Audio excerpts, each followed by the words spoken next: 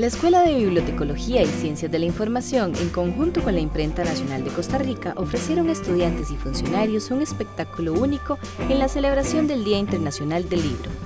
Las personas tuvieron la oportunidad de conocer cómo se imprimía durante el siglo XIX en Costa Rica mediante la actividad llamada de la imprenta a lo digital.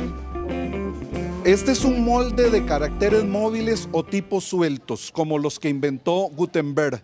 Esto había que levantar letrita por letrita, una por una, para ir formando los moldes de las páginas. Imagínense, la Biblia de Gutenberg eh, tenía 400 páginas, por lo que se necesitaron 400 moldes como este. Y todo era totalmente manual.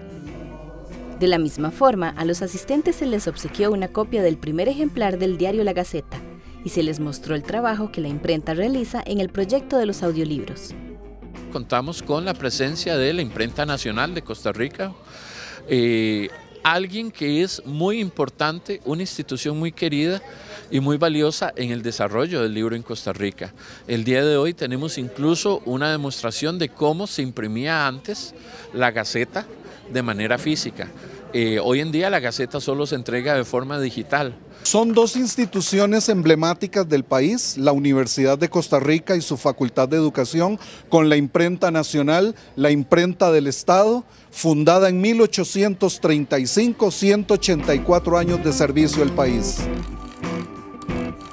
Esta fue tan solo una de tantas actividades realizadas en la universidad en el marco del Día Internacional del Libro y el 15 de mayo se tiene proyectado realizar una liberación de libros masiva en todo el campus Rodrigo Facio.